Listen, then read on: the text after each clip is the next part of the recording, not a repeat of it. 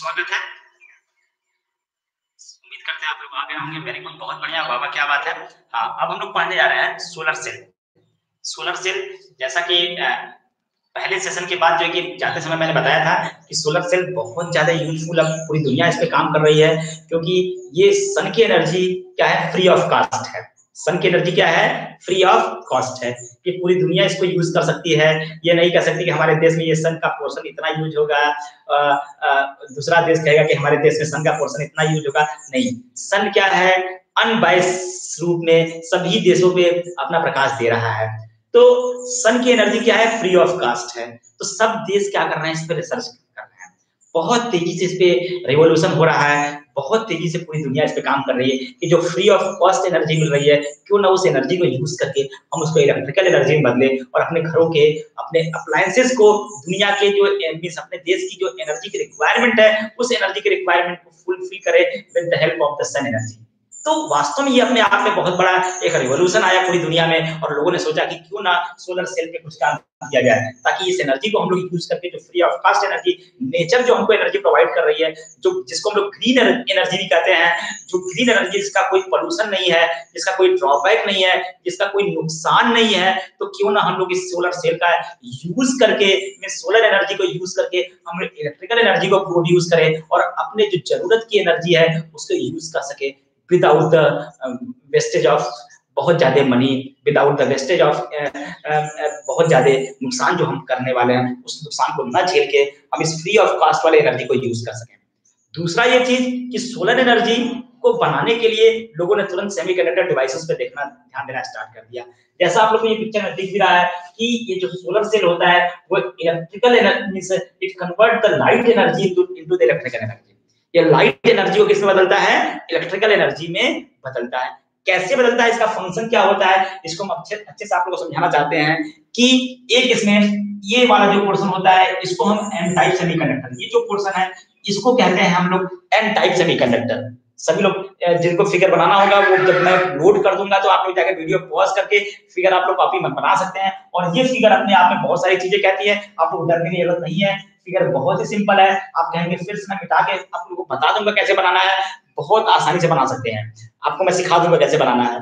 अब देखिए, ये जो पोर्शन होता है, इसके ऊपर का पोर्शन एन टाइप सेमीकंडक्टर लेते हैं और ये जो पोर्शन होता है, इसको हम लोग पी टाइप सेमीकंडक्टर लेते हैं। एन टाइप सेमीकंडक्टर को थोड़ा थिन रखते हैं और पी टाइप सेमीकंडक्टर को काफ़ी थिक रखते हैं as compare to the N type semiconductor क्यों? क्योंकि यहाँ से जब लाइट ऊपर से फॉल होती है, ऊपर से क्या फॉल होगी? लाइट ये ऐसे लाइट फॉल होगी। This is the light light कौन सी है? सोलर लाइट कौन सी लाइट है? सोलर लाइट मींस सनलाइट सीधे कह सकते हैं। तो जब ये सोलर लाइट फॉल हो रही है, जब ये सोलर लाइट फॉल हो रही है तो हम लोग देखते हैं कि जब ये सोलर लाइट फॉल हुई यहाँ पे तो ये लाइट क्या करेगी? ये ट्रांसपेरेंट होता है, शीशे का बना होता है, ताकि ये लाइट जाके इस जंक्शन पे पड़े। देखिए, अगर ये एन टाइप सेमीकंडक्टर है ऊपर का, ये पी टाइप सेमीकंडक्टर है तो इस जंक्शन पे लाइट फॉल करे। तो अब ये बताइएगा कि बहुत मोटा बना देंगे तो लाइट की एनर्जी बीच में ही बर्बाद हो जाएगी। तो हमारा मेन पर्पज है सन की एनर्जी को ज़्यादा से ज़्यादा ग्रैप्स करना, ज़्यादा से ज़्यादा इसको पकड़ना होल्ड करना अपने डिवाइस के अंदर, ताकि उसका हम यूटिलाइज ज़्यादा से ज़्यादा कर सके। ये बात आप लोगों को समझ में आई? तो इसलिए ये जो बहुत सारे एग्ज़ाम में पूछा जाता है कि एन टाइप मटेरियल को क्यों पतला किया जाता है? ड्यू टू विच कि हम मोस्ट ऑफ़ द एनर्जी को यूज़ कर सके अपने इस डिवाइस में। This is why we we use the देखा जाए न्यूमेरिकल वैल्यू में तो इसका जो थिकनेस होता है मात्र 0.3 माइक्रोमीटर होता है। जबकि पी टाइप का जो थिकनेस लेते हैं, वो 300 माइक्रोमीटर के ऑर्डर का लेते हैं। सोचिए थिकनेस ये बहुत कम है और ये थिकनेस बहुत ज़्यादा है। क्यों किया गया? ऐसा आप लोग को समझ में आ गया होगा। अब यहाँ पे ये क्या करते हैं? एक मेटल का फिंगर कॉपर वायर का एक मेटल का फिंगर ऐसे बना होता है। ये ऐसे। ताकि क्या हो, इसमें आपके इलेक्ट्रॉन फंस जाए, इसमें। हम बताएँगे क्यों ऐसा मेटल का ही लेते हैं, ऐसा क्यों लेते हैं। जैसे ये, इसके ऊपर ऐसे फिंगरिंग ऐसे। ये मान लीजिए, हमारे पास एन टाइप है, ये सेमीकंडक्टर मटेरियल इसमें हम फिंगरिंग मटेरियल ऐसे कर देते हैं। ये देखिएगा सभी लोग। तो इसमें क्या होगा? इसमें इलेक्ट्रॉन आ जाएगा इसमें इलेक्ट्रॉन आके फंस जाएगा इसमें इलेक्ट्रॉन आके फंस जाएगा और एक्यूमुलेशन एक तरह से एक एक, जगह इकट्ठा होता जाएगा। मेन पर्पज हमको इलेक्ट्रॉन को एक्यूमुलेट करना है। मींस इकट्ठा करना है एक स्पेशल रीजन में ताकि ये पोटेंशियल डिफरेंस क्रिएट करे। हम सभी लोग जानते हैं कि जब तक इलेक्ट्रिसिटी तभी तक प्रोड्यूस तब प्रोड्यूस होगी जब हम पोटेंशियल डिफरेंस क्रिएट करें। बिना पोटेंशियल डिफरेंस के करंट मिलने वाला नहीं है। तो सोलर सेल भी यही करने वाला है। सन की लाइट को एनर्जी करके हम पोटेंशियल डिफरेंस स्टैब्लिश करेंगे। और वो पोटेंशियल डिफरेंस क्या करेगा? हमें सर्किट में करंट को दौड़ाएगा। क्योंकि तो बिना पोटेंशियल डिफरेंस के, बिना पोटेंशियल डिफरेंस के करंट मिलने वाला नहीं है। तो हमको we have to first establish the potential difference और इस पोटेंशियल डिफरेंस को बनाने में ये कॉपर जो मेटल का ये फिंगर बनाया गया है। ये फिंगर टाइप लाइक स्ट्रक्चर बनाया गया बहुत हेल्प करता है। कैसे मैं समझाऊँगा? आप लोग को बहुत सारे बच्चे बस रख लेते हैं फील नहीं आती, आज फील आ जाएगी। सोलर सेल का कैसे पोटेंशियल डिफरेंस प्रोड्यूस करते हैं? कैसे ये कॉपर मेटल कैसे हेल्प करता है पोटेंशियल डिफरेंस को मेंटेन करने में? ये चीज़ों को हम लोग ध्यान देंगे। और नीचे ब्लैक पेन बना लेते हैं जो बैड कंडक्टर जो इलेक्ट्रॉन को अपनी तरफ़ न खींचे। ये क्या है? कॉपर क्या है? गुड कंडक्टर है। इलेक्ट्रॉन को अपनी तरफ़ खींचे एक साइड में। और दूसरी तरफ़ ब्लैक पेंटेड बना देते हैं जो बैड कंडक्टर होता है। क्या होता है? बैड कंडक्टर बैड कंडक्टर जो इलेक्ट्रॉन को अपनी तरफ़ ना खींचे, दूसरे में कहते हैं, होल को खींच ले जाए कहना सब कुछ है टेक्निकली इलेक्ट्रॉन को अपनी तरफ़ ना खींचे, इसका मतलब इलेक्ट्रॉन इधर से निकल के ऊपर जाए, यहाँ बनना क्या? होल। बहुत सारे बच्चों का कॉन्सेप्ट एकदम क्लियर हो रहा होगा कि अगर ये बैड कंडक्टर है, इलेक्ट्रॉन अपने पास नहीं आने देगा मीन यहाँ से इलेक्ट्रॉन ऊपर जाएगा। ऊपर जाएगा तो यहाँ क्या बनेगा? Hole. Means positive charge simply और यहाँ इलेक्ट्रॉन खींचेगा तो इलेक्ट्रॉन अपने पास लेगा, यहाँ क्या बनेगा? नेगेटिव चार्ज बहुत सारे बच्चों को समझ में आ गया कि पोटेंशियल डिफरेंस ऐसे क्रिएट हो गया। इसके वर्किंग क्या समझना है? सब तो दो लाइन बता दिए समझ में आ गए बस ये ब्लैक पेंटेड बैड कंडक्टर ताकि इलेक्ट्रॉन को अपने पास न रखने रखने दे तो यहाँ से इलेक्ट्रॉन कहाँ जाएगा? इस मेटल की तरफ़ जाएगा। यहाँ इलेक्ट्रॉन इकट्ठा होते जाएँगे, और यहाँ होल बनते जाएँगे। एक तरफ़ इलेक्ट्रॉन इकट्ठा होगा तो नेगेटिव चार्ज एक तरफ़ होल बनेगा तो positive charge this creates the potential difference अब इसमें क्या करिए? एक एक सर्किट रजिस्टर लगा दीजिए। ऐसे लगे, तुरंत इसमें करंट फ्लो कर जाएगा। तुरंत क्या फ्लो कर जाएगा? करंट लेकिन अभी ये एक लेमन तरीका था। हम इसके वर्किंग को बहुत बढ़िया समझाने वाले हैं अब देखिए, कैसे?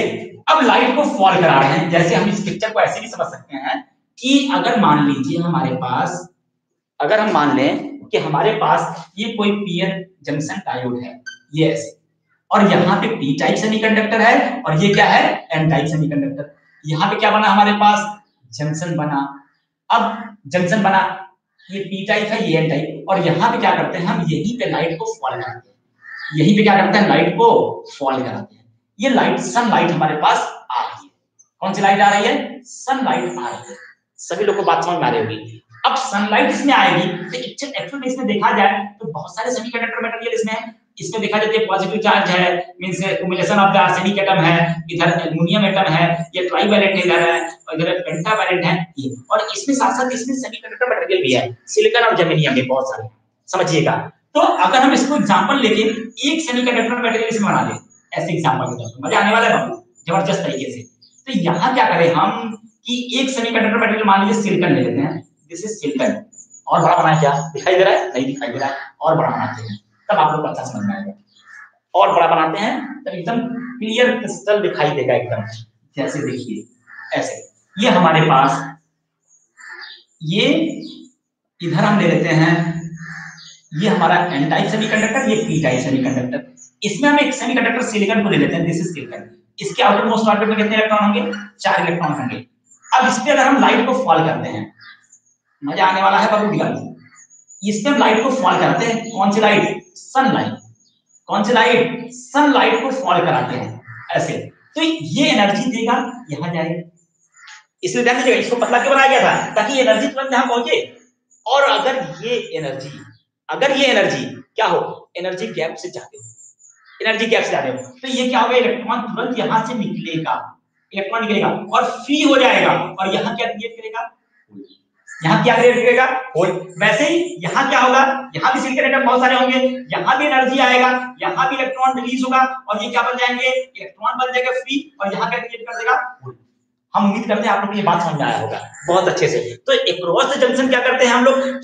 सनलाइट को फॉल कराते हैं, जिससे ये सिलिकॉन से इलेक्ट्रॉन जो भी सेमीकंडक्टर सिलिकॉन जर्मेनियम जो भी हमारे पास है, इसलिए इसमें बहुत सारे सेमीकंडक्टर को बहुत ही हैवीली डोप करते हैं, ताकि नंबर ऑफ़ इलेक्ट्रॉन जितना ज़्यादा मिलेंगे, उतना बढ़िया पोटेंशियल डिफरेंस क्रिएट होने वाला है। तो अब इलेक्ट्रॉन यहाँ से ये, यहाँ गए फ्री हो गए यहाँ होल बना, यहाँ से इलेक्ट्रॉन यहाँ गए, यहाँ क्या बन गया होल अब देखिएगा, इस पी साइड में, इस पी साइड में ये ब्लैक पेंटेड है। मज़ा आने वाला है बाबू, ये ब्लैक पेंटेड है। वाह वाह, क्या बात है, ज़बरदस्त।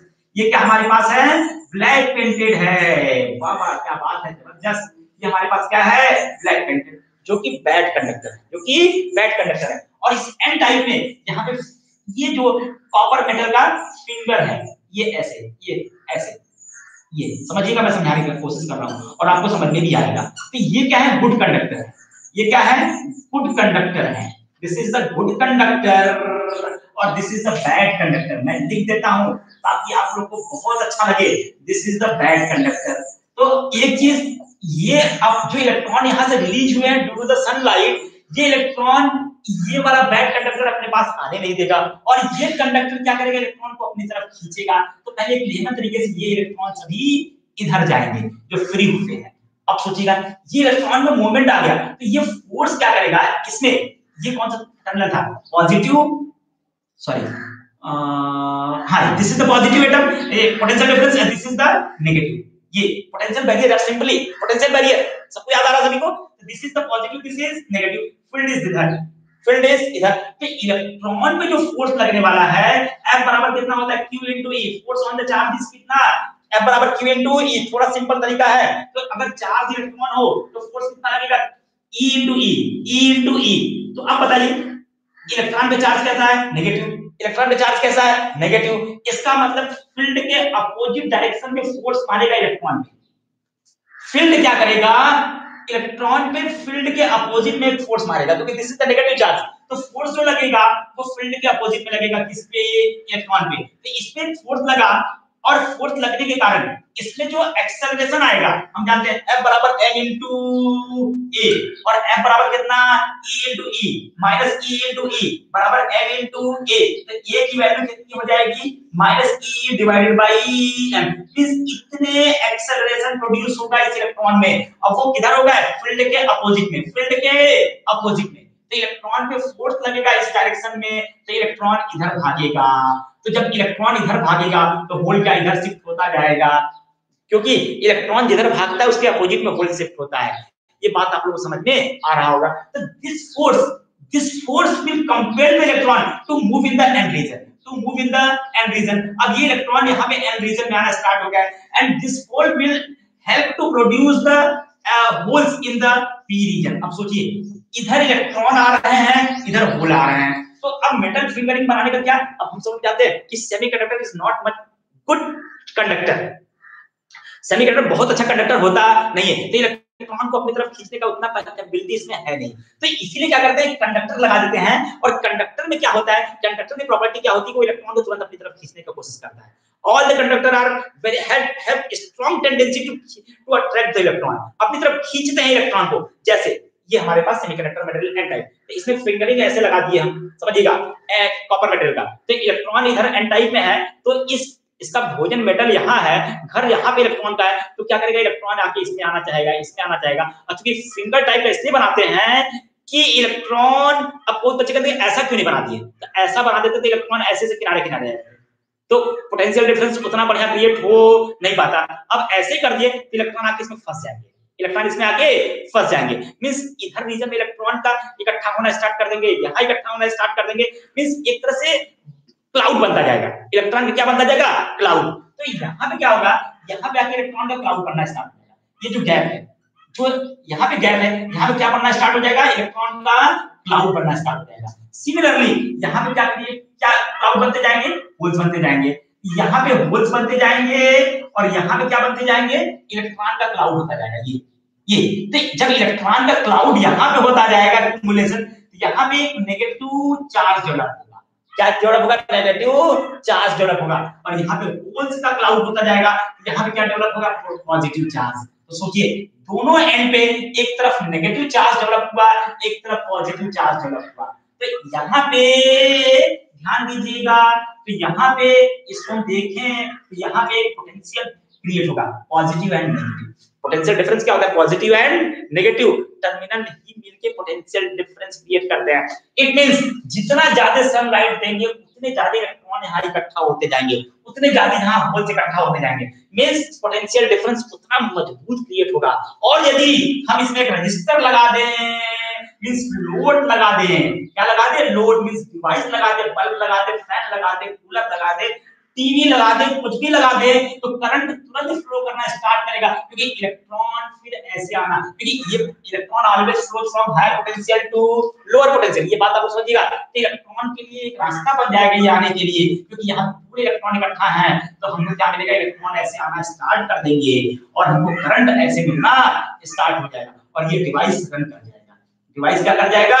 रन कर जाएगा। इस तरह हम देखते हैं कि जो accumulation cloud of electron and accumulation cloud of holes हो रहा है ड्यू टू सनलाइट हो रहा है। और ये सनलाइट के कारण एक पोटेंशियल डिफरेंस क्रिएट हुआ और वो पोटेंशियल डिफरेंस के क्रॉस के क्रॉस अगर रजिस्टर हम लगा दें तो क्या होगा? तो बहुत आसानी से हमको करंट मिलना स्टार्ट हो जाएगा due to this potential difference and इस तरह हमारा ये डिवाइस से खिल उठेगा, जल उठेगा और हम सोलर सेल को यूज़ कर पाएँगे बहुत ही अच्छे से।